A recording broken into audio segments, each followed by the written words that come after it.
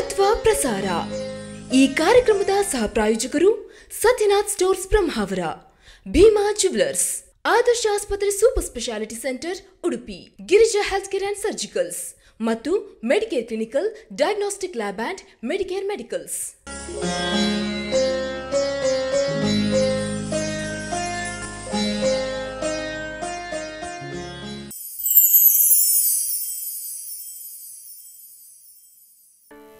Shri ಗುರುಭ್ಯೋ ನಮಃ. ಹರಿ ಓಂ. ಸಾಮಾನ್ಯವಾಗಿ ಮನುಷ್ಯನಿಗೆ ಜೀವನದಲ್ಲಿ ಮೂರು ಹಂತದಲ್ಲಿ ಆತನಿಗೆ ಸುಖ, ದುಃಖ ಅಂತ ಹೇಳುವಂಥದ್ದು ಪ್ರಾಪ್ತಿಸಲಿಕ್ಕೆ ಸಾಧ್ಯವಿದೆ. ಒಬ್ಬ ಮನುಷ್ಯ ಹುಟ್ಟಿದ ನಂತರ ಸಾಯುವವರೆಗೂ ಆತ ದುಃಖವನ್ನೇ ಅನುಭವಿಸಬೇಕು ಅಂತಿಲ್ಲ. ಅಥವಾ ಸುಖವನ್ನೇ ಅನುಭವಿಸುವಂಥದ್ದು ನಾವು ಕಾಣುವುದಿಲ್ಲ. ಅವನ ಜೀವನದಲ್ಲಿ ಯಾವುದಾದ್ರೂ ಒಂದು ಹಂತದಲ್ಲಿ ಆತ ಸುಖ ದುಃಖಗಳನ್ನು ಅನುಭವಿಸುವುದನ್ನು ನಾವು ಕಾಣಬಹುದು. ಹಾಗಾದರೆ ಯಾಕೆ ಈ ಸುಖ ದುಃಖ ಅಂತ ಹೇಳುವಂಥದ್ದು ಮನುಷ್ಯನ ಜೀವನದಲ್ಲಿ ಬರ್ತದೆ ಅಂತ ಹೇಳುವುದಕ್ಕೆ ಮುಖ್ಯ ಕಾರಣ ಅವನು ಹಿಂದಿನ ಜನ್ಮದಲ್ಲಿ ಮಾಡಿದಂತಹ ಪಾಪ ಪುಣ್ಯಗಳು ಒಂದು ಕಡೆ ಆದರೆ ಮತ್ತೊಂದನೆಯದಾಗಿ ಆತ ಹುಟ್ಟಿದ ಮೇಲೆ ಆತನು ಮಾಡುವಂತಹ ಪಾಪ ಪುಣ್ಯಗಳು ಕೂಡ ಅದು ಕಾರಣವಾಗುತ್ತದೆ. ಒಬ್ಬ ಹುಟ್ಟಿದಾಗ ಸುಖದಿಂದ ಇದ್ದು ಮಧ್ಯಮ ವಯಸ್ಸನ್ನು ದಾಟುವವರೆಗೂ ಆತ ಸುಖವನ್ನೇ ಪಡಿತಾ ಇದ್ದರೆ ವೃದ್ಧಾಪ್ಯದಲ್ಲಿ ಆತ ಪರಿತಾಪವನ್ನು ಪಡುವಂಥದ್ದು ಕಾಣ್ತೇವೆ. ಅಥವಾ ಕೆಲವರು ಕಷ್ಟಪಟ್ಟದ್ದು ಚಿಕ್ಕ ವಯಸ್ಸಿನಲ್ಲೇ ಆದರೆ ಅವರಿಗೆ ಬೇರೆ ಹಂತದಲ್ಲಿ ಮಧ್ಯ ವಯಸ್ಸಿನಲ್ಲೂ ಅಥವಾ ವೃದ್ಧಾಪ್ಯದಲ್ಲೂ ಅವರಿಗೆ ಸುಖಗಳು ಪ್ರಾಪ್ತಿಯಾಗುತ್ತವೆ. ಅಂದರೆ ಮನುಷ್ಯನ ಜೀವನ ಅಂತ ಹೇಳುವಂಥದ್ದು ಕೇವಲ ಮೂರು ದಿನದ ಬಾಳು ಅಂತೇಳಿ. ಹಾಗಾದರೆ ಮೂರು ದಿನದ ಬಾಳು ಅಂದರೆ ಏನು? ಒಂದು ಬಾಲ್ಯ, ಅದು ಒಂದು ದಿನ. ಯೌವನ ಅಂತ ಹೇಳುವಂಥದ್ದು ಎರಡನೇ ಹಂತ. ಹಾಗೆ ವೃದ್ಧಾಪ್ಯ ಅಂತ ಹೇಳುವಂಥದ್ದು ಮೂರನೇ ಹಂತ. ಈ ಮೂರು ಹಂತವನ್ನು ದಾಟುವಂಥದ್ದೇ ಅದು ಮೂರು ದಿನದ ಬಾಳು. ಈ ಮೂರು ದಿನದ ಬಾಳಿನಲ್ಲಿ ಯಾವುದಾದರೂ ಒಂದು ದಿನ ಆತ ಸುಖವನ್ನು, ಮತ್ತೊಂದು ದಿನ ಕಷ್ಟವನ್ನು ಆತ ಅನುಭವಿಸಲೇಬೇಕಾಗುತ್ತದೆ. ಅದು ಯಾವುದೇ ರೀತಿಯಾದಂತಹ ಕಾರಣವಿರಲಿ. ದೈಹಿಕವಾದಂಥ ಕಷ್ಟ ಇರಬಹುದು, ಮಾನಸಿಕವಾದಂಥ ಕಷ್ಟ ಇರಬಹುದು. ಕಷ್ಟ ಅಂತ ಹೇಳುವಂಥದ್ದು ಮನುಷ್ಯನಿಗೆ ಹೇಗೆ ಬರ್ತವೆ ಅವು ಹೇಗೆ ಇರ್ತವೆ ಅಂತ ಹೇಳುವಂಥದ್ದು ಅವನವನು ಅನುಭವಕ್ಕೆ ಅದು ಬರಬೇಕಾಗಿ ಹೊರತು ಅದನ್ನು ನಾವು ಹೆಚ್ಚು ವಿಶ್ಲೇಷಣೆಯನ್ನಾಗಲಿ, ಅದರ ಬಗ್ಗೆ ಹೆಚ್ಚು ವಿವರಣೆಯನ್ನು ಕೊಡಲಿಕ್ಕೆ ಸಾಧ್ಯವಿಲ್ಲ. ಹಾಗಾಗಿ ಈ ಸುಖ ದುಃಖ ಅಂತ ಹೇಳುವಂಥದ್ದು ಮನುಷ್ಯ ಅನುಭವಿಸಬೇಕಾಗ್ತದೆ. ಹೆಚ್ಚಿನದಾದಂಥ ಸುಖವನ್ನು ಅನುಭವಿಸಬೇಕಾದ್ರೆ ಆತ ಹೆಚ್ಚಿನದಾದಂತಹ ಪುಣ್ಯವನ್ನು ಮಾಡಬೇಕಾಗ್ತದೆ. ಇದನ್ನು ನಾವು ಚೆನ್ನಾಗಿ ಅರ್ಥಕೊಳ್ಬೇಕು. ಹಾಗೆ ನಾವು ಈಗ ರಾಮಾಯಣದ ಕಡೆಗೆ ನಾವು ನೋಡುವುದಾದರೆ ಅಯೋಧ್ಯೆಯ ಅರಸನಾದಂತಹ ದಶರಥನಾದರೂ ತಾನು ಹುಟ್ಟಿದ ನಂತರ ಆತ ಯೌವನವನ್ನು ದಾಟುವವರೆಗೂ ಆತ ಸುಖವನ್ನೇ ಕಳೆದುಕೊಂಡಿರ್ತಾನೆ, ಸುಖವನ್ನೇ ಪಡ್ಕೊಂಡಿರ್ತಾನೆ. ಯಾಕಂದರೆ ಶ್ರೇಷ್ಠವಾದಂತಹ ಕುಲದಲ್ಲಿ, ರಾಜ್ಯದಲ್ಲಿ ಆತ ಜನಿಸ್ತಿರ್ತಾನೆ. ಹಾಗಾಗಿ ಆತ ಬಹಳ ಶ್ರೇಯಸ್ಸನ್ನು ಆತ ಪಡ್ಕೊಳ್ಳಿಕ್ಕೆ ಸಾಧ್ಯ ಉಂಟು. ಆದರೆ ಯಾವಾಗ ಆತನಿಗೆ ಆ ಪ್ರಾಪ್ತ ವಯಸ್ಕರಾಗಿ ಅಲ್ಲಿ ಮದುವೆ ಆದ ನಂತರ ಆತನಿಗೆ ಮಕ್ಕಳಾಗುವುದಿಲ್ಲವೋ ಆತ ಮತ್ತೆ ಮತ್ತೆ ಮದುವೆ ಆದರೂ ಕೂಡ ಮಕ್ಕಳಾಗದೆ ಇದ್ದಂಥ ಸಂದರ್ಭದಲ್ಲಿ, ಆಗ ಸಹಜವಾಗಿ ರಾಜನು, ರಾಣಿಯರು ಮತ್ತು ರಾಜ್ಯದ ಜನತೆಯು ಕೂಡ ಚಿಂತೆಗೆ ಒಳಪಡ್ತಾರೆ. ಯಾಕಂದರೆ ರಾಜನಿಗೆ ಮಕ್ಕಳಾಗದಿದ್ದರೆ ಈ ಮುಂದೆ ರಾಜ್ಯವನ್ನು ಯಾರು ಪರಿಪಾಲಿಸ ಮಾಡ್ತಾರೆ? ಮುಂದೆ ರಾಜ್ಯ ಅಂತ ಹೇಳುವಂಥದ್ದು ಅರಾಜಕತೆ ಉಂಟಾಗಿ ಬಹಳ ಕಷ್ಟವನ್ನು ಪ್ರಜೆಗಳು ಪಡಬೇಕಾಗ್ತದೆ. ಇದು ಪ್ರಜೆಗಳ ಚಿಂತೆಯಾದರೆ ರಾಜನಿಗೂ ಕೂಡ ತನ್ನ ವಂಶವನ್ನು ಬೆಳೆಸುವಂಥದ್ದು. ಈ ಅರಸೊತ್ತಿಗೆಗೆ ಮುಂದೆ ಅಧಿಕಾರಿಯಾಗುವವನು ಯಾರು? ಈ ರೀತಿಯಾದಂಥ ಚಿಂತೆ ರಾಜನಿಗೂ ರಾಣಿಯರಿಗೂ ಅರಮನೆಯಲ್ಲಿ ಎಲ್ಲರಿಗೂ ಇದು ಉಂಟಾಗುವಂಥದ್ದು. ಆದರೆ ಮುಂದೆ ವಸಿಷ್ಠರ ಸೂಚನೆಯ ಮೇಲೆಗೆ ಪುತ್ರಕಾಮೇಷ್ಟಿ ಯಾಗವನ್ನು ಮಾಡಲ್ಪಟ್ಟವನಾಗಿ ಆ ಯಾಗದ ಫಲವಾಗಿ ಅಲ್ಲಿ ಮತ್ತೆ ಆತನಿಗೆ ನಾಲ್ಕು ಮಂದಿ ಮಕ್ಕಳನ್ನು ಹುಟ್ಟುವಂಥದ್ದು. ಹೀಗೆ ಯಾವಾಗ ನಾಲ್ಕು ಮಂದಿ ವೀರ ಪುತ್ರರು ಹುಟ್ಟಿದ್ರು, ಸತ್ಕುಲ ಪ್ರಸೂತನಾಗಿದ್ದಂತಹ ಆ ಮಕ್ಕಳ ಆ ಆಟ, ಪಾಠಗಳು ಅವರ ಶ್ರೇಯಸ್ಸನ್ನು ಕಂಡು ರಾಜ ಎಣಿಸ್ತಾನೆ, ಇನ್ನು ನನ್ನ ಜೀವನದಲ್ಲಿ ಆ ದುಃಖ ಅಂತ ಹೇಳುವಂಥದ್ದು ಇಲ್ಲ. ಈ ನಾಲ್ಕು ಮಂದಿ ಮಕ್ಕಳ ಆಶಯದಲ್ಲಿ ನಾನು ಇನ್ನು ಸುಖಿಯೇ ಆಗುತ್ತೇನೆ. ನನ್ನ ಮುಪ್ಪಿನಲ್ಲಾದರೂ ನಾನು ಕೀರ್ತಿವಂತರಾದಂಥ ನಾಲ್ಕು ಮಕ್ಕಳನ್ನು ಪಡೆದು ನನ್ನ ಜನ್ಮವು ಸಾರ್ಥಕವಾಯಿತೆಂದು ಆತ ಸಂತೋಷದಲ್ಲಿಯೇ ಕಾಲ ಕಳೆಯುತ್ತಿತ್ತು. ಹೀಗೆ ಒಂದು ರಾಜ್ಯದ ಸಂತೋಷ ಅಂತ ಹೇಳುವಂಥದ್ದು ಅದು ರಾಜನಲ್ಲಿ ಇರ್ತದೆ. ಇದು ನಾವು ಗಮನ ಬಿಟ್ಟು ಅರ್ಥ ಮಾಡಿಕೊಳ್ಬೇಕು. ಹಾಗಾದರೆ ಹೇಗೆ ಆ ರಾಜನಲ್ಲಿ ರಾಜ್ಯದ ಸುಖ ಇರ್ತದೆ ಎಂಬುದನ್ನು ನೋಡುವುದಾದರೆ, ರಾಜ್ಯಕ್ಕೆ ತಕ್ಕ ರಾಜನಾದ ಮೇಲೆ ಕಾಲಕ್ಕೆ ತಕ್ಕಂತಹ ಮಳೆ ಬೆಳೆಗಳು ತನ್ನಿಂದ ತಾನೇ ಬರ್ತದೆ. ಯಾಕೆ? ರಾಜ್ಯಕ್ಕೆ ತಕ್ಕ ರಾಜ. ಅಂದರೆ ಆತ ಕಾಲ ಕಾಲಕ್ಕೆ ಮಾಡಬೇಕಾದಂಥ ಯಾಗ, ಯಜ್ಞ ಇತ್ಯಾದಿಗಳಿಂದ. ದೇವತೆಗಳು ಸುಪ್ರೀತರಾಗಿ ಕಾಲ ಕಾಲಕ್ಕೆ ಮಳೆಯನ್ನು ಸುರಿಸುವಂಥದ್ದು. ತನ್ಮೂಲಕ ಬೆಳೆ ಉಂಟಾಗುವಂಥದ್ದು. ಇದರಿಂದ ಪಕ್ಷಿ ಹಾಗೂ ಮನುಷ್ಯ ಸಂಕುಲ ಎಲ್ಲ ಜೀವಿಗಳು ಕೂಡ ಸಮೃದ್ಧಿಯನ್ನು ಪಡೆದುಕೊಳ್ಳಿಕ್ಕೆ ತನ್ಮೂಲಕ ಸಾಧ್ಯವಾಗ್ತದೆ. ಹಾಗಾಗಿ ಒಂದು ರಾಜ್ಯದ, ಧರ್ಮದ ಎಲ್ಲ ಮೂಲವೂ ಕೂಡ ಅದು ರಾಜನಾಗುತ್ತಾನೆ ಎಂಬುದು ಅದು ಅತ್ಯಂತ ಸತ್ಯ. ಹಾಗಾಗಿ ರಾಜನು ಧರ್ಮಕ್ಕೆ ಮೂಲಭೂತನಾಗುತ್ತಾನೆ. ಅವನ ಧರ್ಮ ಮೂಲಭೂತವಾದಂಥ ರಾಜ್ಯಾಡಳಿತವನ್ನೇ ಅನುಸರಿಸಿ ದೇಶವು ಕೂಡ ಅಲ್ಲಿ ಧರ್ಮದಿಂದ ಇರುತ್ತದೆ. ವ್ಯಭಿಚಾರನ್ ನರೇಂದ್ರಾಣಂ ಧರ್ಮ ಸಂಕೀರ್ಯತೆ ಮಹಾನ್, ಅಧರ್ಮೋ ವರ್ಧತೆ ಚಾಪಿ ಸಂಕೀರ್ಯಂತೆ ತತ ಪ್ರಜಾ ಅಂತ ಹೇಳ್ತಾರೆ. ಅಂದರೆ ಈ ಸುಂದರವಾದಂತಹ ಈ ಶ್ಲೋಕ ಏನು ಹೇಳುತ್ತದೆ ಅಂದರೆ, ಒಂದು ವೇಳೆ ಅದು ರಾಜರೇ ಒಂದು ವೇಳೆ, ನಾನು ಈಗ ಹೇಳಿದ ವಿಚ, ವಿಚಾರಕ್ಕೆ ವಿರುದ್ಧವಾಗಿದ್ದರೆ ಅವರು ಪಾಪಾತ್ಮರಾದರೆ, ಪಾಪ ಕರ್ಮಗಳನ್ನು ಮಾಡುತ್ತಿದ್ದರೆ ಧರ್ಮವನ್ನು ಬದಿಗಿಟ್ಟು ಸ್ವೇಚ್ಛೆಯಿಂದ ರಾಜ್ಯಭಾರವನ್ನು ಮಾಡುತ್ತಿದ್ದಾರೆ ದೇಶದಲ್ಲಿ ಧರ್ಮ ಸಂಕರಣ ಉಂಟಾಗುತ್ತದೆ. ಅಂದರೆ ಈಗ ಈ ಕಲಿಯುಗದಲ್ಲಿ ಪ್ರಸ್ತುತ ಅದೇ ಆಗಿರುವಂಥದ್ದು. ಯಾಕಂದರೆ ಈಗ ಯಾರು ಕೂಡ ರಾಜ ಆಗ್ಬೋದು, ಯಾರೂ ಕೂಡ ಆಡಳಿತವನ್ನು ನಡೆಸಬಹುದು, ಅವರಿಗೆ ರೀತಿ, ನೀತಿ, ನಿಯಮ, ಧರ್ಮ ಇತ್ಯಾದಿಗಳು ಯಾವುದೇ ರೀತಿಯಾದಂಥ ಬಾಧ್ಯತೆ ಇರುವುದಿಲ್ಲ. ಅವರಲ್ಲಿರುವಂಥ ಬಾಧ್ಯತೆ ಅಂದರೆ ಕೇವಲ ಸ್ವಾರ್ಥ. ತಾನು ಶ್ರೇಷ್ಠನಾಗಬೇಕು ತನ್ನವರು ಒಳ್ಳೆದಿರಬೇಕು ಅಂತ ಹೇಳೋದು ಬಿಟ್ಟರೆ ಪ್ರಜೆಗಳ ಬಗ್ಗೆ, ರಾಜ್ಯದ ಬಗ್ಗೆ, ಪ್ರಾಣಿ ಸಂಕುಲಗಳ ಬಗ್ಗೆ ಅವರಿಗೆ ಯಾವುದೇ ಚಿಂತೆ ಅಂತೇಳುವಂಥದ್ದಿಲ್ಲ ಯಜ್ಞ ಯಾಗಾದಿಗಳಂತೇಳುವಂಥ ಮಾತೇ ಅವರಲ್ಲಿ ಇಲ್ಲ. ಹಾಗಿರುವಂಥ ಸಂದರ್ಭದಲ್ಲಿ ಆಗುವಂಥ ದೋಷ ಏನು ಅಂದರೆ ಮುಖ್ಯವಾಗಿ ಧರ್ಮ ಸಂಕರಣ ಉಂಟಾಗ್ತದೆ. ಏನು ಧರ್ಮ ಸಂಕರಣ ಉಂಟಾಗುವುದು ಅಂದರೆ ನಾನಾ ಧರ್ಮಗಳು ಹುಟ್ಟಿಕೊಳ್ಳುವಂಥದ್ದು. ನಾನಾ ಧರ್ಮಗಳು ಹುಟ್ಟಿಕೊಂಡಾಗ ಆಯಾಯ ಧರ್ಮಗಳ ಒಳಗೆ ಜಗಳ ಉಂಟಾಗುವಂಥದ್ದು. ಇದು ಈ ಜಗಳ ಅಂತೇಳುವಂಥದ್ದು ದೇಶದ ಅಭಿವೃದ್ಧಿಗೆ ಮಾರಕ ಆಗುವಂಥದ್ದು. ತನ್ಮ ಧರ್ಮ ಹೆಚ್ಚು, ತಾವು ಹೆಚ್ಚು, ನಮ್ಮ ಧರ್ಮವೇ ಮುಂದೆ ಪ್ರತಿಷ್ಠಾಪನೆ ಆಗಬೇಕು. ಈ ರೀತಿಯಾದಂತಹ ಮನೋಭಾವನೆಗೆ ಒಳಗಾಗಿ ರಾಜ್ಯನ ರಾಜ್ಯಾಡಳಿತದಲ್ಲಿ ಆತ ಹಿಡಿತವನ್ನು ತಪ್ಪಿಕೊಳ್ತಾನೆ. ಹಿಡಿತ ಅಂತ ಹೇಳುವಂಥದ್ದು ತಪ್ಪಿ ಬೀಳ್ತದೆ. ಹೀಗಾಗಿ ಅಲ್ಲಿ ಧರ್ಮ ಸಂಕರಣ ಅಂತ ಹೇಳುವಂಥದ್ದು ಉಂಟಾಗ್ತವೆ. ಇದೀಗ ನಮಗೆ ಈಗಾಗಲೇ ನಮ್ಮ ಅನುಭವಕ್ಕೆ ಬಂದಿದೆ. ಅದರ ತೊಂದರೆಯನ್ನು ನಾವು ಅನುಭವಿಸುತ್ತಲೂ ಇದ್ದೇವೆ.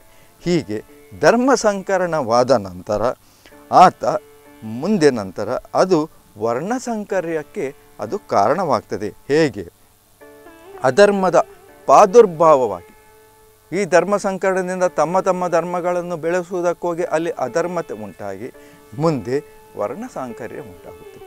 ಯಾರು ಯಾರನ್ನು ಬೇಕಾದರೂ ಮದುವೆ ಆಗ್ಬೋದು, ಯಾರು ಬೇಕಾದರೂ ವಿವಾಹವಾಗಬಹುದು ಮತ್ತು ಆ ವಿವಾಹಕ್ಕೆ ಒಂದು ರೀತಿ, ನೀತಿ, ನಿಯಮ ಅಂತೇಳುವಂಥದ್ದು ಇಲ್ಲ. ಹೀಗೆ ಇದರಿಂದ ವರ್ಣ ಸಾಂಕರ್ಯ ಅಂತೇಳುವಂಥ ಉಂಟು, ಆಗ್ತದೆ. ಹಾಗಾಗಿ ಅಲ್ಲಿ ಬ್ರಾಹ್ಮಣ, ಕ್ಷತ್ರಿಯ, ವೈಶ್ಯ, ಶೂದ್ರ ಅಂತ ಹೇಳುವಂಥದ್ದು ಏನು ಕಟ್ಟುಪಾಡಿತ್ತು. ಆ ಕಟ್ಟುಪಾಡಿನ ಒಳಗೆ ಜನರು ನಡ್ಕೊಂಡಿದ್ರು ಪರಸ್ಪರ ಸ್ಪ, ಸೌದಾರ್ಹತೆಯಿಂದ ಅವರ ಜೀವನವನ್ನು ನಡೆಸ್ತಾ ಇದ್ದರು. ಇವೆಲ್ಲವೂ ಕೂಡ ಈ ಅಧರ್ಮದಿಂದಾಗಿ ಕೊನೆಗೊಂಡು ಉದ್ಯೋಗದಲ್ಲಿಯೂ ಜಾತಿಯಲ್ಲೂ ನೀತಿಯಲ್ಲೂ ವ್ಯ- ವ್ಯವಹಾರದಲ್ಲೂ ಎಲ್ಲವೂ ಕೂಡ ಅದು ಒಂದು ರೀತಿಯಾದಂಥ ಗೊಂದಲ ಉಂಟಾಗಿ ಪ್ರಜೆಗಳಲ್ಲಿ ಅಶಾಂತಿ ಉಂಟಾಗಲಿಕ್ಕೆ ಇದು ಕಾರಣವಾಗ್ತದೆ. ಹಾಗಾಗಿ ಒಂದು ರಾಜ್ಯದ ಆಡಳಿತ ಹಾಳಾಗಲಿಕ್ಕೆ, ಧರ್ಮವು ನಾಶವಾಗಲಿಕ್ಕೆ ಈ ವರ್ಣ ಸಂಕರಣ ಮತ್ತು ಧರ್ಮ ಸಂಕರಣವು ಅಲ್ಲಿ ಮುಖ್ಯವಾಗಿ ಕಾರಣವಾಗುತ್ತದೆ ಎಂಬುದನ್ನು ನಾವು ಈಗ ಅರ್ಥ ಮಾಡಿಕೊಳ್ಬೇಕು. ಹಾಗಾಗಿ ಈ ಎಲ್ಲ ಕಾರಣಗಳಿಂದ ಲೋಕದಲ್ಲಿ ಅಧರ್ಮವು ಹೆಚ್ಚಿದಂತೆಲ್ಲ, ಅಲ್ಲಿ ಏನು ತೊಂದರೆ ಆಗ್ತದೆ? ಆಗ ಅಂಗವಿಕಲರ ಜನರಾಗ್ತಾರೆ, ಮತಿಭ್ರಮಣೆ ಉಳ್ಳವರಾಗ್ತಾರೆ, ಕಿವಿ ಕೇಳದಿದ್ದವರು, ಕಣ್ಣು ಕಾಣದಿದ್ದವರು, ಹೀಗಾಗಿ ಎಲ್ಲವೂ ಸರಿ ಇದ್ದರೂ ಕೂಡ ಬುದ್ಧಿ ಸರಿ ಇಲ್ಲದಿದ್ದವರು, ಹೀಗೆ ಈ ರೀತಿಯಾದಂತಹ ಜನರು ಅಲ್ಲಿ ಹುಟ್ಟಲಿಕ್ಕೆ ಕಾರಣವಾಗ್ತಾರೆ. ಹಾಗಾದರೆ ಈಗ ನೋಡಿ ಅದನ್ನೇ ನಾವು ಕಾಣ್ತೇವೆ. ಈಗ ವಿಜ್ಞಾನ ಅಂತ ಹೇಳುವಂಥದ್ದು ವೈದ್ಯಕೀಯ ಕ್ಷೇತ್ರದಲ್ಲಿ ಅತ್ಯಂತ ಮುಂದುವರೆದರೂ ಕೂಡ ಈಗ ಮಾತ್ರೆ ಅಂತ ಹೇಳುವಂಥದ್ದು ಮನೆಯಲ್ಲಿ ಇಲ್ಲದಂತಹ ಕಡೆ ಎಲ್ಲೂ ಇಲ್ಲ. ಎಲ್ಲ ಮನೆಯಲ್ಲೂ ಮಾತ್ರೆ ಅಂತ ಹೇಳುವಂಥದ್ದು ಇದ್ದೇ ಇರ್ತದೆ. ಮುಂಚಿನ ಕಾಲದಲ್ಲಿ ಪರಿಸ್ಥಿತಿ ಇರಲಿಲ್ಲ. ಹಾಗಾದರೆ ನಾವು ಎಷ್ಟು ಮುಂದುವರೆದ್ರೇನು ಆರೋಗ್ಯ ಅಂತ ಹೇಳುವಂಥದ್ದು ಸಂಪೂರ್ಣವಾಗಿ ಕಳ್ಕೊಂಡಿದ್ದೇವೆ. ಅದಕ್ಕೆ ಕಾರಣ ಈ ರಾಜ್ಯದ ರಾಜನಾಗಲಿ, ಪ್ರಜೆಗಳಾಗಲಿ ಅಧರ್ಮಯುತವಾಗಿ ಇರುವುದೇ ಈ ಎಲ್ಲ ದುಸ್ಥಿತಿಗೆ ಕಾರಣ ಎಂಬುದನ್ನು ನಾವು ಸರಿಯಾಗಿ ಚಿಂತನೆ ಮಾಡಿಕೊಳ್ಬೇಕು, ಅರ್ಥ ಮಾಡಿಕೊಳ್ಬೇಕು. ಹಾಗಾಗಿ ರಾಜನು ಮಾಡುವ ಪಾಪ ಕಾರ್ಯಗಳಿಂದಾಗಿ, ಧರ್ಮದ ಅಲಕ್ಷ್ಯದಿಂದಾಗಿ, ದುರ್ನೀತಿಯಿಂದಾಗಿ ಪ್ರಜೆಗಳು ತೊಂದರೆಗೀಡಾಗಿ ಅವನತಿಯನ್ನು ಹೊಂದುತ್ತಾರೆ. ಅನೇಕ ದೇಶಗಳನ್ನು ನೋಡ್ತೀವಿ. ನಾವು ತಾಲಿಬಾನ್ ಸಂಸ್ಕೃತಿ ಅಂತ ಹೇಳ್ತೀವಿ. ಸ್ವೇಚ್ಛಾಚಾರ ಅವರು ಹೇಳಿದ್ದೇ ಕಾನೂನು. ಹೀಗೆ ಇದೆಲ್ಲವೂ ಕೂಡ ಆರಂಭ ಮಾತ್ರವಾದರೂ ಇದು ಇನ್ನು ಈ ಸ್ಥಿತಿ ಅಂತ ಹೇಳುವಂಥದ್ದು ಎಲ್ಲ ದೇಶಗಳಿಗೂ ಕೂಡ ಬರುವಂತಹ ದಿನ ಹೆಚ್ಚು ದೂರವಾಗಲಿಕ್ಕೆ ಇಲ್ಲ. ಹಾಗಾಗಿ ಇದಕ್ಕೆ ಕಾರಣ ಅಧರ್ಮ ಅಂತೇಳುವುದನ್ನು ನಾವು ತಿಳಿದುಕೊಳ್ಬೇಕಾಗ್ತದೆ. ಆದರೆ ನಾವು ಈಗ ಅಯೋಧ್ಯೆಯ ರಾಜನಾದಂತಹ ದಶರಥನ ಕುರಿತು ನಾವು ಚಿಂತನೆಯನ್ನು ಮಾಡಿದರೆ ಆತನು ಮಾತ್ರ ಧರ್ಮಯುತನಾಗಿದ್ದು ಅಲ್ಲಿ ರಾಜ್ಯಭಾರವನ್ನು ಮಾಡುತ್ತಿದ್ದರಿಂದ ಪ್ರಜಾ ಪರಿಪಾಲನೆಯನ್ನು ಮಾಡುತ್ತಿದ್ದರಿಂದ ಪ್ರಜೆಗಳು ಕೂಡ ತಮ್ಮ ತಮ್ಮ ವರ್ಣಾಶ್ರಮದಲ್ಲಿ ನಿರತರಾಗಿತ್ತು. ಅವರೆಲ್ಲರೂ ಕೂಡ ಧಾರ್ಮಿಕರಾಗಿರುತ್ತಿದ್ದರು. ಅವರಲ್ಲಿ ಯಾವುದೇ ರೀತಿಯಾದಂತಹ ಭೇದ ಭಾವ ಅಂತ ಹೇಳುವಂಥದ್ದು ಇಲ್ಲ. ಈ ಭೇದ ಭಾವ ಅಂತ ಹೇಳಿ ಬರುವಂಥದ್ದು ಯಾವಾಗ? ಒಬ್ಬನನ್ನು ನಾವು ಹೀನಾಯವಾಗಿ ಕಂಡಾಗ. ಆತನ ಕುರಿತು ನಾವು ಹೀನ ವೃತ್ತಿಯನ್ನು ಅಥವಾ ಹೀನ ವಿಚಾರವನ್ನು ಆತನಲ್ಲಿ ಹೇಳಿದಾಗ ಆತನ ಮನಸ್ಸಿಗೆ ಬೇಸರ ಆಗುವಂಥದ್ದು. ಅಂತಹ ಒಂದು ಭೇದ ಭಾವವೇ ಇಲ್ಲದಿದ್ದಾಗ ಯಾವ ವರ್ಣದವರಿಗೂ ಕೂಡ ಅಲ್ಲಿ ಬೇಸರ ಅಂತ ಹೇಳುವಂಥದ್ದು ಬರಲಿಕ್ಕೆ ಸಾಧ್ಯವಿಲ್ಲ. ಹಾಗಾಗಿ ಅಯೋಧ್ಯೆಯಲ್ಲಿ ಎಲ್ಲ ಪ್ರಜೆಗಳು, ನಾಲ್ಕು ವರ್ಣದವರು ಕೂಡ ಬಹಳ ಸಂತೋಷದಿಂದ, ಅನ್ಯೋನ್ಯತೆಯಿಂದ, ಪರಸ್ಪರ ನಂಬಿಕೆಯಿಂದ ಅಲ್ಲಿ ಚಂದ ಚೆನ್ನಾಗಿದ್ದರು ಇನ್ನು ದಶರಥನ ವಿಚಾರವಾಗಿ, ಆತನ ವೈಯಕ್ತಿಕ ವಿಚಾರವಾಗಿ ನಾವು ಬರುವುದಾದರೆ, ಆ ದಶರಥನಿಗೆ ಸ್ವಲ್ಪವಾದರೂ ಅಲ್ಲಿ ವಿಚಾರ ನಾವು ಹೇಳುವಂಥದ್ದು ಆತನ ಮನುಷ್ಯನ ಜೀವನದಲ್ಲಿ. ಏನಾದರೂ ಸ್ವಲ್ಪ ಅಜಾಗರೂಕತೆ ಆದರು ಏನಾದರೂ ತೊಂದರೆ ಆದರೂ, ಯಾಕಂದರೆ ನಾವು ನಡೆಯುವವನೇ ಎಡವುವುದು ಅಂತ ಹೇಳ್ತೇವೆ. ಹಾಗೆ ನಾವು ಏನಾದರೂ ಕಾರ್ಯಗಳನ್ನು ಮಾಡುವುದಿದ್ದರೆ ಅಲ್ಲಿ ಕೆಲವು ಲೋಪದೋಷಗಳು ಆಗುವಂಥದ್ದು ಸಾಮಾನ್ಯ. ಆ ಲೋಪದೋಷಗಳು ಆದಾಗ ಅದಕ್ಕೆ ತಕ್ಷಣವೇ ಅಲ್ಲಿ ಪರಿಹಾರವನ್ನು ಕಂಡುಕೊಂಡು ಆ ದೋಷ ಅಂತೇಳುವಂಥದ್ದು ಉಳಿಯದೆ ನೋಡಿಕೊಂಡಾಗ ಮುಂದೆ ನಾ ಜೀವನ ಅಂತೇಳುವಂಥದ್ದು ಚೆನ್ನಾಗಿ ನಡೀತದೆ. ಆದರೆ ಮಹಾರಾಜನಾದಂತಹ ದಶರಥನ ಜೀವನದಲ್ಲಿ ನಡೆದಂತಹ ಒಂದು ಪ್ರಮಾದವು ಅದು ಮುಂದೆ ಅಜಾಗರೂಕತೆಯಿಂದ ಅದು ಪುನಃ ಪುನಃ ಆ ಕೆಲಸ ಅಂತೇಳುವಂಥದ್ದು ಪುನಃ ಪುನಃ ಬೇರೆ ಸಂದರ್ಭದಲ್ಲಿ ಜನ್ಮ ತಾಳಿ ಅದು ತೊಂದರೆ ಕೊಡ್ತದೆ. ಒಂದು ಮರದಲ್ಲಿದ್ದಂತಹ ಬೀಜ ಅಂತ ಹೇಳುವಂಥದ್ದು ಅದು ನಾವು ತೆಗೆದಿಟ್ಟಾಗ ಅದು ಬೀಜ ರೂಪದಲ್ಲಿರ್ತದೆ. ಭೂಮಿಗೆ ಬಿದ್ದಾಗ ಅದು ಮತ್ತೆ ಪುನಃ ಅದು ಬೆಳೆದು ಅದು ಹೆಮ್ಮರವಾಗ್ತದೆ. ಹಾಗೆ ನಾವು ಮಾಡಿದಂತಹ ತಪ್ಪಾಗಲಿ, ಒಳ್ಳೆಯದಾಗಲಿ, ಅದು ಬೀಜ ರೂಪದಲ್ಲಿ ಇದ್ದು ಯಾವತ್ತಾದರೂ ಅದು ಒಂದು ದಿನ ಬೆಳೆದು ಅದು ಹೆಮ್ಮರವಾಗುವಂತಹ ಸಾಧ್ಯತೆ ಇದ್ದೇ ಇರುತ್ತದೆ. ಅಂದರೆ ದಶರಥನಿಗೆ ಆತನ ಯೌವನದಲ್ಲಿ ಆತನು ಮಾಡಿದಂತಹ ಒಂದು ಪ್ರಮಾದ. ಮೃಗಬೇಟೆಗೆ ಹೋದಂತಹ ಸಂದರ್ಭದಲ್ಲಿ ಕೊಳದಲ್ಲಿ ನೀರು, ಪ್ರಾಣಿಯು ಯಾವುದೋ ಕುಡಿಯುತ್ತದೆ ಎಂಬುದನ್ನು ಗ್ರಹಿಸಿದಂತಹ ಆತ ತಾನು ಕಲಿತಂಥ ಶಬ್ದವೇದಿ ವಿದ್ಯೆಯಿಂದ ಶಬ್ದ ಬಂದ ಕಡೆಗೆ ಬಾಣವನ್ನು ಪ್ರಯೋಗಿಸಿ, ಅಲ್ಲಿ ಅದು ಪ್ರಾಣಿಯಾಗಿರದೆ ಒಬ್ಬ ಋಷಿಪುತ್ರನಾಗಿದ್ದು ಆತನ ಪ್ರಾಣವು ಹೋದ ಕಾರಣ ಆ ಋಷಿಗಳು ಶಾಪವನ್ನು ಕೊಡುವಂಥದ್ದು. ನೀನು ಕೂಡ ನಿನ್ನ ಮಕ್ಕಳು ಇಲ್ಲದಂತಹ ಸಂದರ್ಭದಲ್ಲಿ ಪುತ್ರ ಶೋಕವನ್ನು ಅನುಭವಿಸಿ ನೀನು ಮರಣ ಹೊಂ, ಹೊಂದು ಎಂಬುದು. ಇದು ರಾಜನಿಗೆ ಮಾತ್ರ ಗೊತ್ತಿತ್ತೆ ವಿನಃ ಆತ ಅರಮನೆಯಲ್ಲಾಗಲಿ, ಯಾರಲ್ಲೂ ಅದನ್ನು ಹೇಳಿಕೊಂಡಿರಲಿಲ್ಲ. ಅದೊಂದು ತೊಂದರೆ ಅಂತೇಳುವಂಥದ್ದು. ಶಾಪವು ಬೀಜ ರೂಪದಲ್ಲಿತ್ತು. ಅದು ಯಾವತ್ತು ಮೊಳಕೆ ಒಡೆದು ಆತನಿಗೆ ತೊಂದರೆಯನ್ನು ಕೊಡುತ್ತದೆ ಎಂಬುದು ಹೇಳಲಿಕ್ಕೆ ಸಾಧ್ಯವಿಲ್ಲ. ಹಾಗಾದರೆ ಇದು ಯಾವ ರೂಪವನ್ನು ಪಡೆದು ಕಾಡುವುದು ಎಂಬುದು ಹೇಳಲಿಕ್ಕಾಗುವುದು. ಬೂದಿಯೊಳಗಿನ ಕೆಂಡದಂತೆ ಇರುವುದು ಅಂತಹ ಪ್ರಸಂಗಕ್ಕೆ ಅದು ಬೀಜ ಒಳೆದು ಮೊಡಕೆ ಒಳೆದು ಮರವಾಗುವಂತಹ ಪ್ರಸಂಗವು ಬಂತು ಎಂಬಂತೆ ರಾಜನ ಒಂದು ದಿನ ಕೌಸಲ್ಯಾದೇವಿಯ ಅಂತಃಪುರದಲ್ಲಿ ಆತ ಶಯನಾಗಾರವನ್ನು ಹೊಕ್ಕು. ದಶರಥನು ಪವಡಿಸಿರುವಂತಹ ಸಂದರ್ಭದಲ್ಲಿ ಯಾವುದೋ ಒಂದು ರೀತಿಯಾದಂಥ ದುಸ್ವಪ್ನವು ಆತನಿಗೆ ಬಿತ್ತು. ಆತ ಹಂಸತೂಲಿಕಾ ತಲ್ಪದಲ್ಲಿ ಮಲಗಿದ್ದರೂ ಆ ಸ್ವಪ್ನ ಕಾರಣದಿಂದ ಆತ ಗಲಿಬಿಲಿಗೊಂಡು ಹೊರಳಾಡಿ ನೆಲಕ್ಕೆ ಬೀಳ್ತಾನೆ. ನೆಲಕ್ಕೆ ಬಿದ್ದಂಥ ಸಂದರ್ಭದಲ್ಲಿ ಸಾವರಿಸಿ ಎದ್ದು ಮತ್ತೆ ಪುನಃ ಮಲಗಿ ಬ್ರಾಹ್ಮಿ ಮುಹೂರ್ತದಲ್ಲಿ ಗೆದ್ದುಕೊಂಡು ನಿತ್ಯಾನ್ನಿಕವನ್ನೆಲ್ಲ ಪೂರೈಸಿಕೊಂಡು ಆತ ಆ ಕನಸಿನ ಬಗ್ಗೆ ಚಿಂತಿತನಾಗ್ತಾನೆ. ಹಾಗಾದರೆ ಈ ಕನಸಂತ ಹೇಳುವಂಥದ್ದು ನಮಗೂ ದಿನನಿತ್ಯ ಬೀಳ್ತದೆ. ಆದರೆ ಶ್ರೇಷ್ಠರಾದವರಿಗೆ, ರಾಜರ್ಷಿಗಳಾದವರಿಗೆ ಈ ಬೀಳುವಂಥ ಕನಸು ಯಾವುದೋ ಒಂದು ಪೂರ್ವ ಸೂಚನೆ ಎಂಬುದಂತೂ ಸತ್ಯ.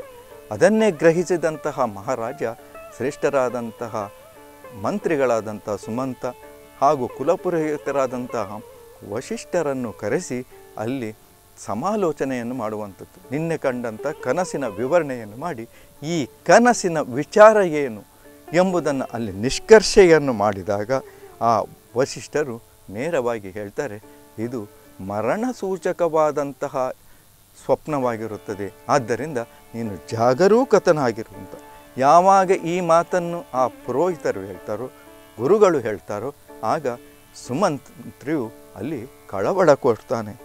ಸುಮಂತ್ರನು ಅಲ್ಲಿ ದುಃಖಕ್ಕೆ ಒಳಪಡ್ತಾನೆ. ಬಹಳಷ್ಟು ಇನ್ನು ಏನೋ ಆಗಬಾರದ್ದಾಯಿತು. ಮಹಾರಾಜ ಈಗಾಗಲೇ ಮರಣಿಸಿದ ಎಂಬಂತಹ ಗಾಬರಿಗೆಯನ್ನು ಸೂಚಿಸಲಾಗಿ ದೊಡ್ಡ ಗಂಡಾಂತರವೇ ನಡೆಯಿತು ಎಂಬ ಮುಖಭಾವನೆಯನ್ನು ಹೊಂದಿದವನಾಗಿ ಇದನ್ನು ಗಮನಿಸಿದಂಥ ವಸಿಷ್ಠರು ಗಂಭೀರವಾಗಿ ಸುಮಂತನನ್ನು ಕುರಿತು ಅಲ್ಲಿ ಕೆಲವು ನೀತಿ ವಚನಗಳನ್ನು ಹೇಳುವಂಥದ್ದು. ನೀನೇನೋ ಈಗ ನೀನು ಬಹಳ ಗಲಿಬಿಲಿಗೊಂಡಿದ್ದಿ, ದುಃಖತನಾಗಿದ್ದಿ, ಬಹಳ ಭಯವನ್ನು ಪಟ್ಟಿದ್ದಿ. ಆದರೆ ಇನ್ನು ಮುಂದೆ ಎಷ್ಟೋ ಸಹಸ್ರ ವರ್ಷಗಳು ಕಳೆದ ನಂತರ ಈ ಪ್ರಪಂಚದಲ್ಲಿ ತಪಸ್ಸನ್ನು ಮಾಡಲಿಕ್ಕೆ ಕಾಡಾಗಲಿ, ಕೃಷಿಯನ್ನು ಮಾಡಲಿಕ್ಕೆ ಕ್ಷೇತ್ರವಾಗಲಿ, ಮತ್ತೆ ಮುಂದೆ ಇರಲಿಕ್ಕಿಲ್ಲ. ಎಲ್ಲ ಕಡೆಯಲ್ಲಿಯೂ ಕೂಡ ಮನೆಗಳೇ ತುಂಬಿ ಇರುವಂಥದ್ದನ್ನು ನೀನು ಕಾಣಬಹುದು. ಭೂಮಿಯ ತುಂಬ ಮನೆಗಳೇ ಇರಬಹುದು. ಹಾಗಾಗಿ ಈಗ ಹುಟ್ಟಿದವರು ಸಾಯದೇ ಇರಲಿಕ್ಕೆ ಸಾಧ್ಯ ಉಂಟ? ಒಂದು ವೇಳೆ ಅದು ಹಾಗೆ ಆಯಿತು ಅಂತಾದರೆ ಈ ಭೂಮಿಯೇ ಸ್ವರ್ಗ ಅಂತ ಹೇಳಲಿಕ್ಕೆ ಸಾಧ್ಯ. ಆದರೆ ಸ್ವರ್ಗದ ವಿವರಣೆ ಏನು? ಅಲ್ಲಿ ಜರಾಮರಣಗಳಿಲ್ಲ ಹಾಗೆ ಮುಪ್ಪು ಅಂತ ಹೇಳುವಂಥದ್ದು ಇಲ್ಲ. ಹಸಿವು ಬಾಯಾರಿಕೆ ಅಂತ ಹೇಳುವಂಥದ್ದು ಇಲ್ಲ. ಹುಟ್ಟು ಸಾವು ಯಾವಾಗ ಭೂಮಿಯಲ್ಲಿ ಇಲ್ಲ ಅಂತ ಆಗ್ತದೋ, ಆಗ ಭೂಮಿಯು ಕೂಡ ಸ್ವರ್ಗಕ್ಕೆ ಸಮಾನವಾಗಿರ್ತದೆ. ಆದರೆ ಈ ಭೂಮಿ ಅಂತ ಹೇಳುವಂಥದ್ದು, ಅದು ತಪಸ್ಸು ಭೂಮಿ ಪುಣ್ಯ ಭೂಮಿ ಇಲ್ಲಿ ಏನಿದ್ರೂ ಕೂಡ ಪುಣ್ಯವನ್ನು ಸಂಪಾದಿಸಿ ಸ್ವರ್ಗಕ್ಕೆ ಹೋಗಿ ಅನುಭವಿಸಬೇಕೇ ಹೊರತು ಇಲ್ಲದೇ ಸ್ವರ್ಗ ಅಂಥೇಳಿ ಆಗಲಿಕ್ಕೆ ಸಾಧ್ಯವಿಲ್ಲ.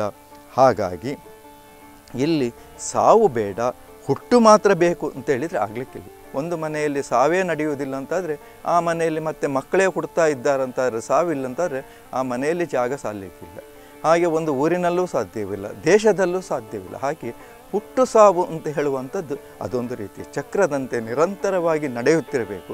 ಆದರೆ ಇಲ್ಲಿ ನಾವು ಬಹಳ ಬಹಳ ಮುಖ್ಯವಾಗಿ ತಿಳಿದುಕೊಳ್ಳಬೇಕಾದ ವಿಚಾರ ಏನೆಂದರೆ, ಅದು ವಶಿಷ್ಠರೇ ಹೇಳಿದಂತೆ ಸಾಯುವ ಇಚ್ಛೆ ಈ ಪ್ರಪಂಚದಲ್ಲಿ ಯಾರಿಗೆ ಇರುತ್ತದೆ? ಇಚ್ಛೆ ಇಲ್ಲ ಎಂಬ ಮಾತ್ರಕ್ಕೆ. ಸಾವು ಯಾರನ್ನು ಬಿಟ್ಟಿರುವುದಿಲ್ಲವಲ್ಲ? ಹಾಗಾಗಿ ಜೀವನ ಕ್ರಮದಲ್ಲಿ, ಒಬ್ಬ ಮನುಷ್ಯನ ಜೀವನ ಕ್ರಮದಲ್ಲಿ ಮರಣವೆಂಬುದು ಇಲ್ಲವೇ ಇಲ್ಲ. ಒಂದು ರೀತಿಯಾಗಿ ಆಲೋಚನೆ ಮಾಡಿದರೆ ಒಬ್ಬ ಮನುಷ್ಯನಿಗೆ ಮರಣ ಅಂತ ಹೇಳುವಂಥದ್ದೇ ಇಲ್ಲ. ನಿಮ್ಗೆ ಅಚ್ಚರಿ ಆಗ್ಬೋದು. ಹಾಗಾದರೆ ಮನುಷ್ಯನಿಗೆ ಮರಣವೇ ಇಲ್ಲ. ಸಾವು ಬೇಕು ಅಂತ ಹೇಳ್ತೀರಿ ಅಂದರೆ ಅಂದರೆ ಇಲ್ಲಿ ನಾವು ಅರ್ಥ ಮಾಡಿಕೊಳ್ಬೇಕು. ಮರಣ ಇಲ್ಲವೇ ಇಲ್ಲ ಅಂದರೆ ತಂದೆಯೇ ಮಗನಾಗಿ ಹುಟ್ಟುವುದರಿಂದ ಆ ಮಗನೇ ತಂದೆಯಾಗುತ್ತಾನೆ. ಇದು ವಶಿಷ್ಠರು ಹೇಳಿದಂಥ ಮಾತು. ಭೌತಿಕ ದೇಹವನ್ನು ಪ್ರಾಕೃತಿಕವಾಗಿ ಕಳೆದುಕೊಂಡರೂ ತಾತ್ವಿಕ ಪುತ್ರತ್ವದಲ್ಲಿ ಸಮಾಹಿತನಾಗುತ್ತಾನೆ. ಹಾಗಾಗಿ ಅವನಿಗೆ ಮರಣವಿಲ್ಲ ಎಂಬುದನ್ನು ನಾವು ತಿಳ್ಕೊ, ಅಂದರೆ ವಂಶವು ಬೆಳೆಯುತ್ತದೆ. ಒಬ್ಬ ಮನುಷ್ಯ ಬೆಳೀಬೇಕಾದ್ರೆ ಆ ವಂಶ ಬೆಳಿಬೇಕಾದ್ರೆ ತಂದೆ ಕಾರಣನಾಗ್ತಾನೆ. ಹಾಗೆ ತಂದೆಯ ಅಂಶವೇ ಅಲ್ಲಿ ಮಗನ ರೂಪವನ್ನು ಪಡ್ಕೊಂಡಾಡ್ತು ಹಾಗಾಗಿ ಮಗನೇ ಮತ್ತೆ ಪುನಃ ತಂದೆಯಾಗುತ್ತಾನೆ ಎಂಬುದನ್ನು ನಾವು ಇಲ್ಲಿ ಬಹಳ ಸ್ಪಷ್ಟವಾಗಿ ತಿಳ್ಕೊಳ್ಬೇಕು. ಹಾಗೆ ಮರಣ ಸೂಚಕವಾದಂತಹ ಸ್ವಪ್ನಗಳು ಯಾಕೆ ಬರ್ತವೆ? ಇದು ದಶರಥ ಅಲ್ಲಿ ಕೇಳುವಂಥ ಪ್ರಶ್ನೆ. ಹಾಗಾಗಿ ಈ ಸ್ವಪ್ನಗಳು ಮನುಷ್ಯನಿಗೆ ಯಾಕೆ ಬೀಳ್ತವೆ? ಅದಕ್ಕೂ ಕೂಡ ಅಲ್ಲಿ ವಶಿಷ್ಠರು ಉತ್ತರ ಕೊಂಡು ಕೊಡುವಂಥದ್ದು, ಯಾರಾದರೂ ಮನುಷ್ಯನಿಗೆ ಸರಿಯಾದ ಸಮಯದಲ್ಲಿ ಮುಂಜಾನೆ ಹೊತ್ತು ಸ್ವಪ್ನಗಳು ಬಿತ್ತುಂತಾದರೆ, ಅದರ ಪೂರ್ವ ಸೂಚನೆ ಅಂದರೆ ನೀನು ಜಾಗೃತನಾಗಿರು. ಆ ಸ್ವಪ್ನವು ಏನು ಕೊಡ್ತದೆ ಜಾಗ್ರತೆ ಆ ವಿಚಾರದ ಕುರಿತು ಜಾಗೃತರಾಗಿರಬೇಕು. ಇಲ್ಲಿ ದಶರಥನಿಗೆ ಬಿದ್ದಂತಹ ಸ್ವಪ್ನ ನಿನಗೆ ಮುಂದೆ ಮರಣವು ಸಂಭವಿಸುತ್ತದೆ ಎಂಬಂಥ ಸೂಚನೆ ಆಗಿತ್ತು. ಆಗ ದಶರಥ, ಹಾಗಾದರೆ ನಾನು ಏನು ಜಾಗೃತನಾಗಿರಬೇಕು? ಅಂದಾಗ ಅಲ್ಲಿ ವಸಿಷ್ಠರು ಹೇಳ್ತಾರೆ, ನಿನಗೆ ನಾಲ್ವರು ಪುತ್ರರಿದ್ದಾರೆ. ನೀನು ಈಗ ಈ ಅಖಂಡವಾದಂತಹ ರಾಜ್ಯದ ನೀನು ಸಾಮ್ರಾಟನಾಗಿದ್ದಿ. ನಿನ್ನ ಹೆಗಲ ಮೇಲೆ ಬಹಳ ದೊಡ್ಡದಾದಂತಹ ಜವಾಬ್ದಾರಿಯಿದೆ. ಆ ಜವಾಬ್ದಾರಿಯನ್ನು ಕಳೆದುಕೊಂಡು ಒಬ್ಬ ಯೋಗ್ಯನಾದಂತಹ ಪುತ್ರನಿಗೆ ಈ ಅಧಿಕಾರವನ್ನು ನೀನು ಹಸ್ತಾಂತರಿಸಿ, ಅರ್ಥಾತ್ ಅವನಿಗೆ ಪಟ್ಟಾಭಿಷೇಕವನ್ನು ಮಾಡಿ ನೀನು ನಿಶ್ಚಿಂತನಾಗಿರು ಎಂಬುದೇ ಈ ಕನಸಿನ ಸೂಚನೆ ಅದನ್ನು ನೀನು ಮಾಡಬೇಕು ಅಂತ ಹೇಳಿದಾಗ ಅಲ್ಲಿ ಮತ್ತೆ ಪುನಃ ಆ ಮೂವರು ಮಂತ್ರಾಲೋಚನೆಯನ್ನು ಮಾಡಿ, ಯಾರಿಗೆ ಪಟ್ಟವನ್ನು ಕಟ್ಟಬೇಕು ಅಂತ ಸುದೀರ್ಘವಾದಂಥ ಚರ್ಚೆಯನ್ನು ನಡೆಸಿ, ಅಲ್ಲಿ ಶ್ರೇಷ್ಠನಾದಂಥ ಪ್ರಜಾರಂಜಕನಾದಂಥ ಶ್ರೀರಾಮಚಂದ್ರನಿಗೆ ಅಲ್ಲಿ ಪಟ್ಟಾಭಿಷೇಕವನ್ನು ಮಾಡುವಂಥದ್ದು. ಅದು ಕೂಡ ಮುಹೂರ್ತ ಅಂತ ಹೇಳುವಂಥದ್ದು ಬಹಳ ಮುಂದೆ ಇಲ್ಲ. ತಕ್ಷಣವೇ ಅವರು ಒಳ್ಳೆಯ ಸುಮುಹೂರ್ತವು ಇರುವುದರಿಂದ ನಾಳೆ ಶ್ರೀರಾಮಚಂದ್ರನಿಗೆ ಪಟ್ಟಾಭಿಷೇಕ ಎಂಬುದಾಗಿ ನಿರ್ಧಾರ ಮಾಡಿ ಅದನ್ನು ಆ ಮಂತ್ರಾಲೋಚನೆಯ ಗ್ರಹದಿಂದ ಅದನ್ನು ಹೊರಗೆ ಪ್ರಕಟಣೆಯನ್ನು ಮಾಡುವಂಥದ್ದು. ಆ ಪ್ರಕಟಣೆಯ ನಂತರ ಎಲ್ಲರೂ ಕೂಡ ಸಂತೋಷದಿಂದ ಇರುವಂಥ ಸಂದರ್ಭದಲ್ಲಿ ಪಟ್ಟಣವನ್ನು ಶೃಂಗರಿಸಿ ಅದು ಮದುಮಣಗಿತ್ತಿಯಂತೆ ಅಲ್ಲಿ ಕಂಗೊಳಿಸ್ತಾರೆ. ಇದರಿಂದ ರಾಜರು, ರಾಣಿಯರು, ಪ್ರಜೆಗಳು ಎಲ್ಲರೂ ಕೂಡ ರಾಮನಿಗೆ ಪಟ್ಟಾಭಿಷೇಕವು ಆಗುತ್ತದೆ ಎಂಬಂಥ ಸಂಭ್ರಮದಲ್ಲಿ ಅಲ್ಲಿರ್ತಾರೆ. ಕೌಸಲ್ಯವೂ ಬಹಳ ಸಂಭ್ರಮವನ್ನು ಪಡೆಯುವಂಥದ್ದು. ಯಾಕೆ ಕೌಸಲ್ಯವು ಸಂಭ್ರಮವನ್ನು ಪಡ್ತಾಳೆಂದರೆ, ತನ್ನ ಮಗ ಅಂತೇಳಿ ಅಲ್ಲ. ಶ್ರೀರಾಮಚಂದ್ರನು ಶೂರನಾಗಿದ್ದಾನೆ, ಧೀರನಾಗಿದ್ದಾನೆ, ಪ್ರೌಢನಾಗಿದ್ದಾನೆ. ಹಾಗೆ ಬುದ್ಧಿ ಅಂತೇಳುವಂಥದ್ದು ಆತನಿದ್ದು ಚುರುಕಾಗಿರುತ್ತದೆ. ಮುಖ್ಯವಾಗಿ ಜನರ ಪ್ರೀತಿಗೆ ಪಾತ್ರನಾದವನು. ಹಾಗಿರುವಾಗ ಎಷ್ಟು ಸಂತಸಪಟ್ಟರೂ ಅದು ಕಡಿಮೆ. ಹಾಗೆ ಆಕೆಯ ದಾಸಿಯರಂತೂ ಪುತ್ರೋತ್ಸವದ ಕಾಲದಲ್ಲಿ, ಅಂದರೆ ಈ ಉತ್ಸವ ಕಾಲದಲ್ಲಿ ಅಲ್ಲಿ ಅರ್ಚಕರು ಹೇಗೆ ಸಂಭ್ರಮವನ್ನು ಪಡ್ತಾರೆ, ಅದೇ ರೀತಿ ಅವರು ಕೂಡ ಉಬ್ಬಿ ಹೋಗಿದ್ರಂತೆ. ಯಾಕಂದರೆ ಈ ಉತ್ಸವ ಕಾಲದಲ್ಲಿ ಅರ್ಚಕರಿಗೆ ಬಹಳಷ್ಟು ಜನ ಬರ್ತಾರೆ, ಅವರಿಗೆ ಬೇಕು ಬೇಕಾದಂಥ ದಾನ ದಕ್ಷಿಣೆ, ಊಟ, ಉಪಚಾರ ಎಲ್ಲವೂ ಆಗ್ತದೆ. ಹಾಗಾಗಿ ಉತ್ಸವ ಅಂತ ಹೇಳಿದರೆ ಅರ್ಚಕರಿಗೆ ಎಲ್ಲರಿಗಿಂತ ಹೆಚ್ಚಿನದಾದಂಥ ಸಂದರ್ಭ. ಅದೇ ರೀತಿ ರಾಮನ ಪಟ್ಟಾಭಿಷೇಕ ಆಗುವ ಸಂದರ್ಭದಲ್ಲಿ ದಾಸ ದಾಸಿಯರಿಗೂ ಕೂಡ ಹೊಸ ಹೊಸದಾದಂಥ ಬಟ್ಟೆಗಳು, ಉಡುಗೊರೆಗಳು ಇತ್ಯಾದಿಗಳು ಸಹಜವಾಗಿ ಸಿಗುವಂಥದ್ದು. ಅವರು ಕೂಡ ಸಂಭ್ರಮಿಸುವಂಥ ಕಾಲ. ಆದರೆ ಇಲ್ಲಿ ನಾವು ಗಮನಿಸಬೇಕು ಅನ್ಯತಾ ಚಿಂತಿತಂ ಕಾರ್ಯ ದೈವೇನೋ ಕೃತಮಾನ್ಯತಂತ. ತಾನೊಂದು ಬಗೆದರೆ ದೈವವು ಮತ್ತೊಂದು ಬಗೆತದೆ ಅನ್ನುವುದಕ್ಕೆ ಇಲ್ಲಿ ದಾಸಿಯಾದ ಮಂತರೆಯು ಇದಕ್ಕೆ ವಿರುದ್ಧವಾಗಿ ಮುಖ್ಯವಾಗಿ ಯೋಗಾಗ್ ಯಾಗಾಗ್ನಿಯ ಹುತ ಪರಿಮಳವು ಸಹಿಸಲಾರದ ನೀಚ ಹೆಂಗಸಿನಂತೆ ತನ್ನ ಒಡತಿಯ ಬಳಿಗೆ ಹೋಗಿ ಸಂತೋಷದಲ್ಲಿ ಇದ್ದಂತಹ ಕೈಕೇಯಿಯ ಮನವನ್ನು ಪರಿವರ್ತನೆಗೊಳಿಸ್ತಾರೆ ಇಲ್ಲಿ ಹೇಳ್ತಾರೆ, ಯಾಗಾಗ್ನಿಯ ಹುತ ಪರಿಮಳವನ್ನು, ಅಂದರೆ ಯಾಗಕ್ಕೆ ಹಾಕುವಂಥ ತುಪ್ಪದ ಹುತ ಪರಿಮಳ ಅಂದರೆ ಎಲ್ಲಿಯಾರು ಒಳ್ಳೆ ಹೋಮ ಆಗ್ತಾ ಇದ್ರೆ ನಮ್ಗೆ ಗೊತ್ತಾಗ್ತದೆ, ಇಲ್ಲಿ ಏನೋ ಒಂದು ವಿಶೇಷವಾಗಿ ನಡೀತಾ ಇತ್ತು ಅಂತ. ಅಂತಹ ಒಂದು ಸುವಾಸನೆಯನ್ನು ಸಹಿಸಲಿಕ್ಕೆ ಆಗದಂಥ ಮಂತರೆಯು ಅಲ್ಲಿ ಕೈಕೇಯ ಬಳಿಯಲ್ಲಿ ಹೋಗಿ ಅಲ್ಲಿ ಬೇಡವಾದಂತಹ ದುರ್ಬೋಧನೆಯನ್ನು ಮಾಡಿ. ಅಲ್ಲಿ ತನ್ನ ಒಡತಿಯಾದಂಥ ಕೈಕೇಯ ಮನವನ್ನು ಕೆಡಿಸಿ ರಾಮನಿಗೆ ಆಗುವಂಥ ಪಟ್ಟಾಭಿಷೇಕವು ನಡೆಯದಂತೆ ಅಲ್ಲಿ ಬೋಧನೆಯನ್ನು ಮಾಡುವಂಥದ್ದು. ಆ ಬೋಧನೆ ಎಷ್ಟು ಪ್ರಭಾವವಾಗಿತ್ತು ಅಂದರೆ ಶ್ರೀರಾಮನಿಗೆ ಅಲ್ಲಿ ಹದಿನಾಲ್ಕು ವರ್ಷ ಕಾಡಿಗೆ ಕಳಿಸುವಂಥದ್ದು ಮತ್ತು ಭರತನಿಗೆ ಪಟ್ಟಾಭಿಷೇಕವನ್ನು ಮಾಡುವಂಥದ್ದು. ಹಾಗಾದರೆ ಭರತನಿಗೆ ಪಟ್ಟಾಭಿಷೇಕ ಮಾಡಲಿ. ಶ್ರೀರಾಮಚಂದ್ರನನ್ನು ಯಾಕೆ ಕಾಡಿಗೆ ಹೋಗಬೇಕು? ಅದರ ಅರ್ಥ ಇಷ್ಟೇ. ಒಂದು ವೇಳೆ ಮತ್ತೆ ಪುನಃ ಶ್ರೀರಾಮಚಂದ್ರ ಅರಮನೆಯಲ್ಲೇ ರಾಜಧಾನಿಯಲ್ಲೇ ಇದ್ದರೆ ಅಲ್ಲಿ ಜನರು ಕೂಡ ಅಲ್ಲಿ ದಂಗೆ ಹೇಳುವಂಥದ್ದು ಸಹಜ. ಯಾಕಂದರೆ ಜನರು ಬಯಸಿತ್ತು ಅಲ್ಲಿ ಶ್ರೀರಾಮಚಂದ್ರನನ್ನು ಭರತನನ್ನು ಅಲ್ಲ. ಹಾಗಾಗಿ ಅಲ್ಲಿ ಮತ್ತೆ ಪುನಃ ಆತನಿದ್ದರೆ ಅಲ್ಲಿ ಭರತನ ಅಧಿಕಾರಕ್ಕೆ ತೊಂದರೆ ಆಗ್ಬೋದು. ಹಾಗಾಗಿ ಹದಿನಾಲ್ಕು ವರ್ಷಗಳ ಕಾಲ ಆತ ಕಾಡಿಗೆ ಹೋದರೆ ಅಲ್ಲಿ ಮತ್ತೆ ಜನರಿಗೆ ಆ ನೆನಪು ಅಂತ ಹೇಳುವಂಥದ್ದು ಮಾಸಿ ಹೋಗಲಿಕ್ಕೆ ಸಾಧ್ಯ ಉಂಟು. ಎಂಬಂಥ ಈ ದುಷ್ಟ ಆಲೋಚನೆಯ ಮೂಲಕ ಇದನ್ನು ಹಿಂದೆ ಕೊಟ್ಟಂತಹ ವರವನ್ನು ಇಂದು ಐ ಅಯೋಧ್ಯೆಯ ಅರಸನಾದಂತಹ ದಶರಥನಲ್ಲಿ ಕೈಕೆಯು ಪಡೆಯುವ ಮೂಲಕ ಅಲ್ಲಿ ಮಾಡಿರುವಂಥದ್ದು. ಹಾಗಾಗಿ ಮಂತರೆಯ ಆ ಉಪದೇಶ ಅಂತ ಹೇಳುವಂಥದ್ದು, ಭಯಂಕರವಾದಂಥ ಕಾರ್ಕೋಟಕ ವಿಷಯವನ್ನು ದಶರಥನಿಗೆ ನೀಡಿ, ಅಲ್ಲಿ ಆತನಿಗೆ ತೊಂದರೆಯನ್ನು ಉಂಟು ಮಾಡುವಂಥದ್ದು, ಅವನ ಪ್ರಾಣಕ್ಕೆ ಹಾನಿ ಉಂಟಾಗುವಂತೆ ಮಾಡುವಂಥದ್ದು ಈ ಎಲ್ಲ ಕಾರ್ಯವು ಅಲ್ಲಿ ಮಂತರೆ ಮಾಡುವಂಥದ್ದು. ಹಾಗಾಗಿ ನಾವು ಒಂದು ಎಣಿಸುವಂಥದ್ದು, ಇಲ್ಲಿ ಆಗುವಂಥದ್ದು. ಬೇರೆ ದಶರಥನಾದರೂ ಬಹಳ ಸಂತೋಷದಿಂದ ಇದ್ದ, ತನ್ನ ಮಗನಿಗೆ ಪಟ್ಟಾಭಿಷೇಕವನ್ನು ಕೊಟ್ಟು ತಾನು ಸುಖವಾಗಿ ಇರಬಹುದು ಅಂತ. ಎಲ್ಲ ರಾಜ್ಯದ ಪ್ರಜೆಗಳು ಅದನ್ನೇ ಬಯಸಿದ್ರು. ಆದರೆ ನಮ್ಮ ಜೀವನದಲ್ಲೂ ಅಷ್ಟೇ ಯಾವುದು ಕೂಡ ನಾವು ಎಣಿಸಿದಂತೆ ಆಗುವುದಿಲ್ಲ. ಅದು ಮತ್ತೊಂದು ರೂಪವನ್ನು ಪಡೆಕೊಳ್ಳುತ್ತದೆ ಎಂಬುದಕ್ಕೆ ಈ ಕಥೆಗಳು ಕೂಡ ನಮಗೆ ಜೀವನದಲ್ಲಿ ಆದರ್ಶವಾಗಿರ್ತದೆ, ಸಾಕ್ಷಿಯಾಗಿರುತ್ತದೆ ಎಂಬ ಮಾತನ್ನು ಹೇಳುತ್ತಾ ಈ ಕಥೆಯನ್ನು ಕೇಳಿದಂತಹ ನಿಮ್ಮೆಲ್ಲರಿಗೂ ಆ ಶ್ರೀರಾಮಚಂದ್ರನು ಆಯುರಾರೋಗ್ಯ ಐಶ್ವರ್ಯವನ್ನು ಕೊಟ್ಟು ಕಾಪಾಡಲಿ ಎಂಬಂಥ ಮಾತಿನೊಂದಿಗೆ ಈ ಕಥೆಯನ್ನು ಶಿವಾರ್ಪಣೆಗೊಳಿಸ್ತಾ ಇದ್ದೇನೆ. ಓಂ ತಸ್ಸತ್